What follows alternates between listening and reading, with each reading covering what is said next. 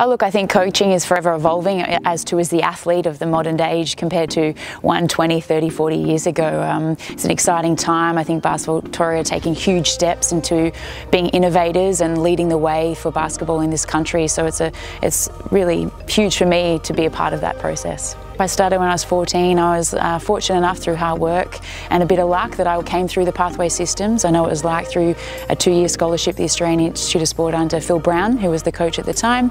And then lucky enough, I ventured on to having a, a decorated career with the Australian Opals, with over playing over 100 games and fortunate enough to go to two Olympics and a World Championship. So I come with about 18 years of uh, professional basketball behind me and, and uh, I look forward to paying it forward to the youth that are coming through.